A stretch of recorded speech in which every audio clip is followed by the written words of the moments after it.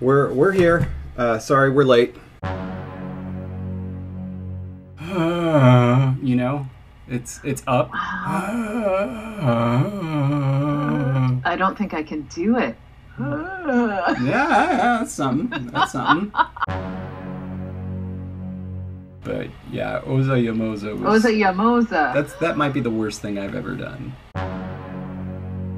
Okay, I think we have hit um, the happy hour of conlanging giddiness. Yeah. we have survived Romanization. For now.